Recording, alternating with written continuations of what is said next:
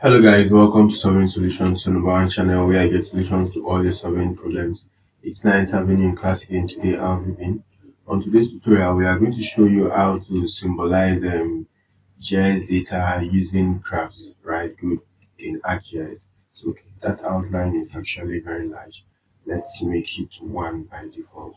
So we have um, some data here. Let's um, open the attribute table now, this attributes table um, shows um, the states in Nigeria and then it also shows some um, public infrastructure, right? Good. So we have some maybe schools, some hospitals, and then maybe roads, right? So what um, we want to do is that we want to visualize this data here in um, ArcGIS using graphs, right? Good. So symbolize the data here in ArcGIS using graphs, right? Good. So the first thing is that let's um, open up to the properties. Then we come down to symbology and then we go to charts, right? Good. Now the three fields that we need that contains the um, infrastructure are these fields, right? Good.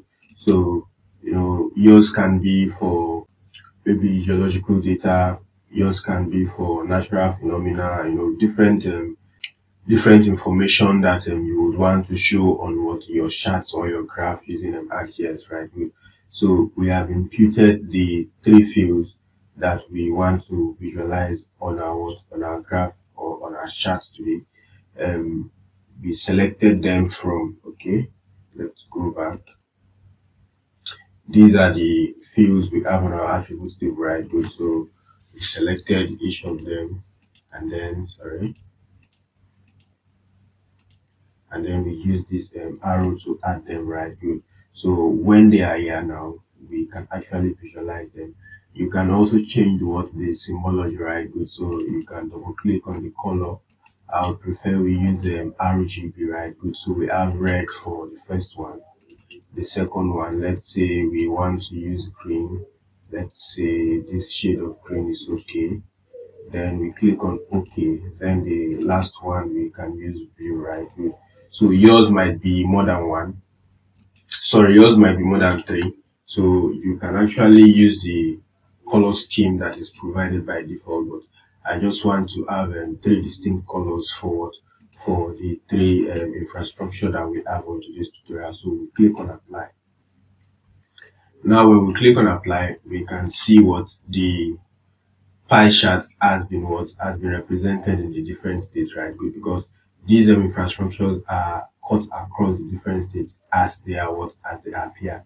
So um, we can also decide to remove the background on which the graph or let's say the pie chart is being displayed so we can come down to no colors to ensure that um, okay let's apply that good so we can see that that um, background color that was here has been removed right? Good. So let's see how interactive it is.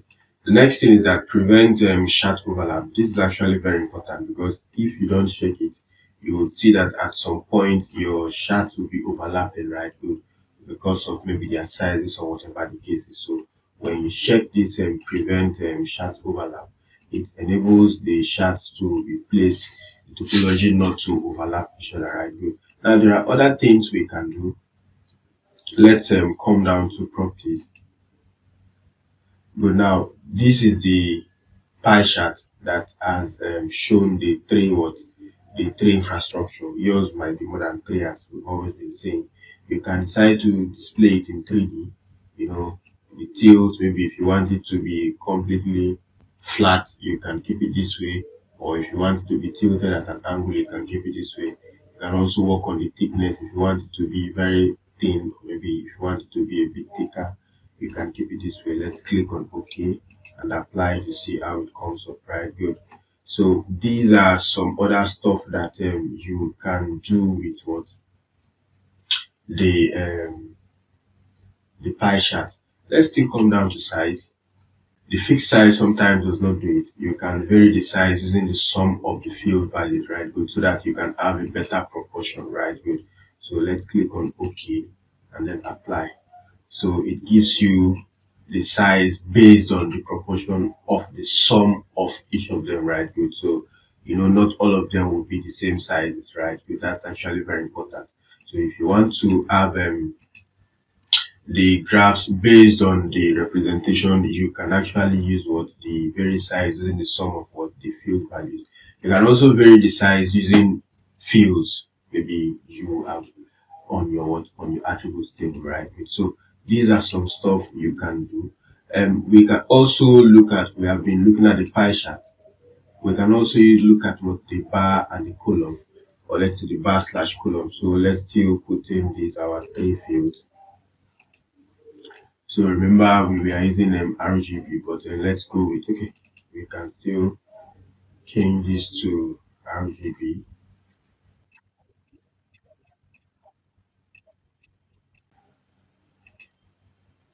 Good. Okay, we have a background. Let's take out the background.